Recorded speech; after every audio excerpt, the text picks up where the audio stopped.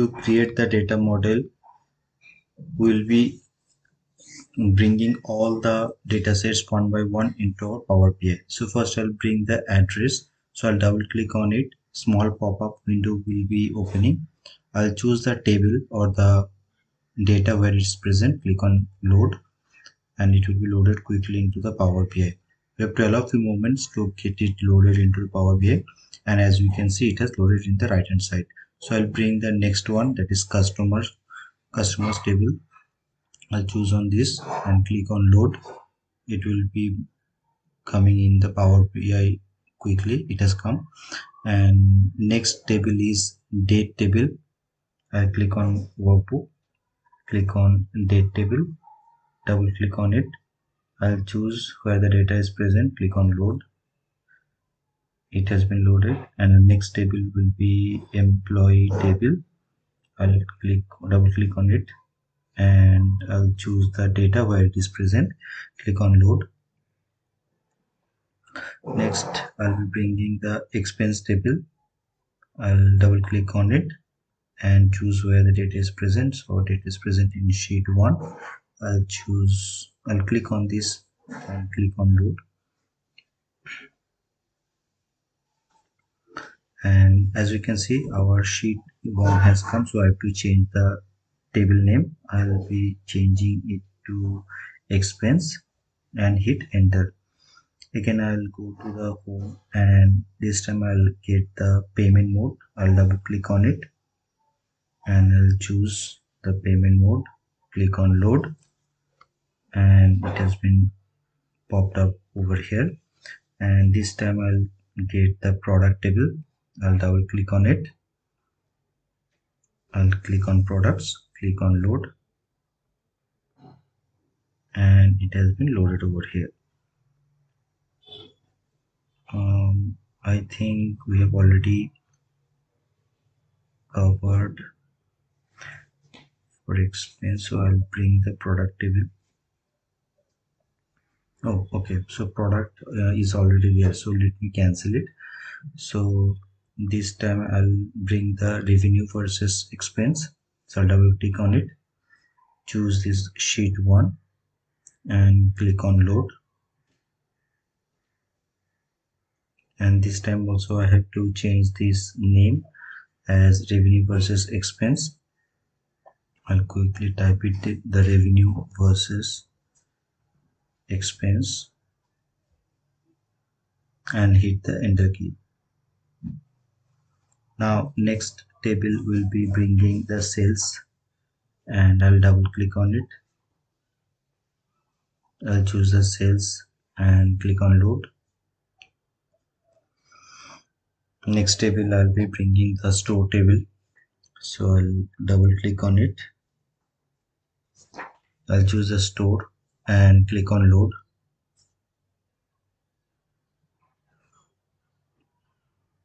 now I'll get the supplier table. I'll double click on it. I'll choose the supplier tab and click on load.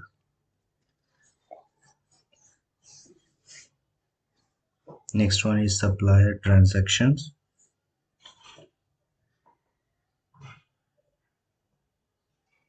and this time also I have to change the tab name.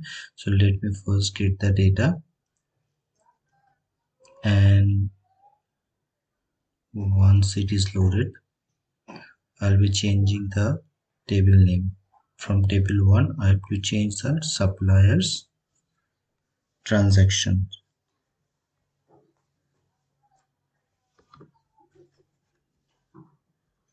And hit the enter key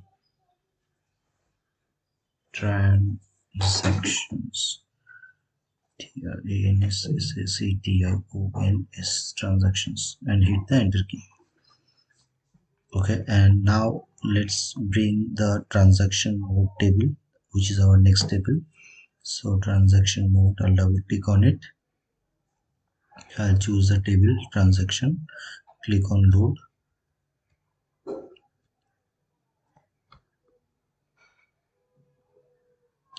now all our data model data has been loaded into the power bi now let's go to the model view and that is present in the left hand side. You can see the this corner there is model view and you can see all the tables it has been present. So if i click on this so you can see all the data it is present and it will be coming in one single view so now let's quickly rearrange all this. If i uh, drag this sliding bar using sliding bar we can uh, slide it to the left to the right or right to the left.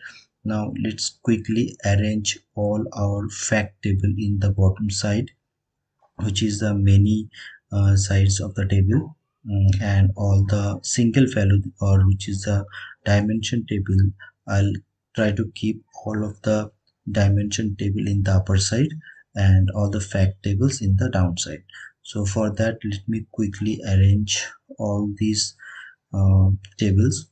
Mm, we can select multiple tables and by clicking the all of them and holding the control key and drag it to the left hand side. So we can see uh, all the things all the tables has come together uh, in single shot now i'm trying to make them fit in the visible area.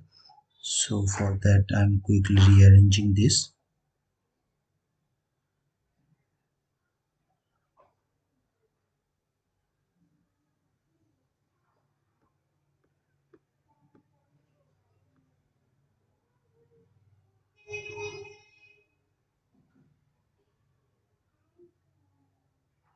I'll click all of them by pressing the control key and drag it to the left hand side.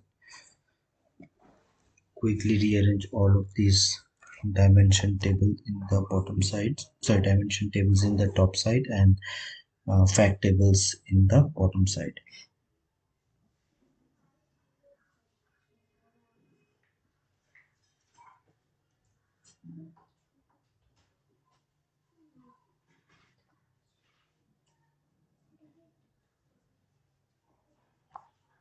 So as you can see some of the lines are uh, solid lines. That mean those are uh, direct connections and those are uh, or the primary connection. And some of the connections it is uh, the dotted line. So dotted line lines means the table which contains the two uh, connections. So one of them is primary the solid one is the primary and the dotted was is secondary we can change the properties of the uh, of them uh, of the of those connections um, so that we'll be seeing in the subsequent lectures in the upcoming videos. But uh, as of now the solid lines represents that they are the primary connection between two tables. And one means one one uh, times that uh, that table has and the many many or the asterisk sign it representing the fact table uh, or the uh, multiple times the values has been represented uh, in that subsequent tables or their respective tables. So uh, that's how we are uh, done with the data modeling. And as uh, as you can see that uh, the connections between tables it has been auto detect uh, it has been established through the auto detection mode. Uh, we have not done anything or we have not modified these connections between two tables. It all have the connection it has been established through the auto detection. So for time being i'm keeping these all these data models and the connection as it is. I'm just uh, trying to keep all the fact tables in the bottom side and all the dimension tables in the top side and trying to fit in our visible window. And i'll quickly rearrange i'm trying to quickly rearrange all of these tables so that it looks nice. And also we can distinguish between all our tables. Uh, so um, after connecting after uh, creating or importing all this table inside this power bi uh, i'll also uh, explain quickly what are what how many tables we have and what are the types and their descriptions. So uh, I'll need few more minutes to quickly rearrange this so that all our tables will be Uh, visible in a, through our visible window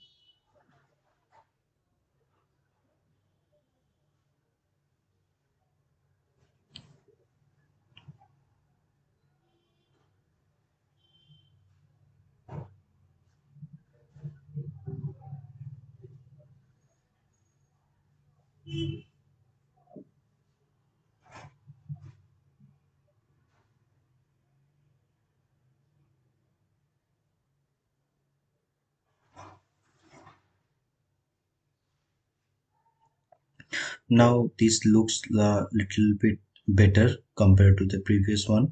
Um, as you can see that date and address these two table it has not connected but that's fine.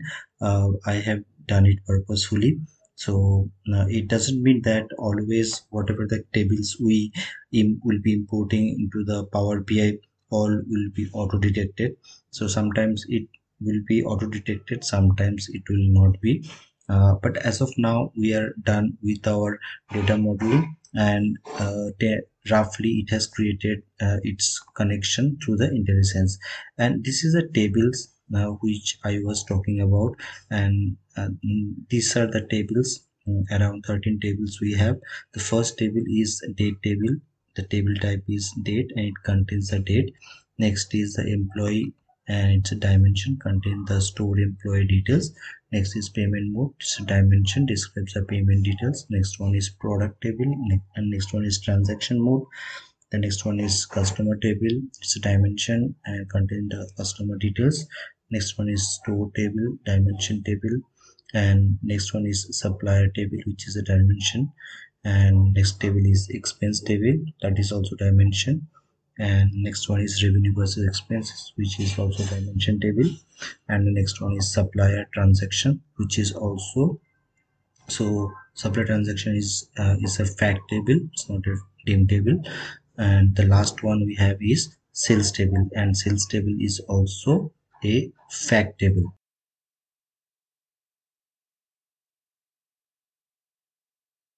so that's all for now. If you like this video please give it a thumbs up and subscribe to my channel. Till then take care. Bye bye and i'll see you with another new exciting video. Thank you. Bye bye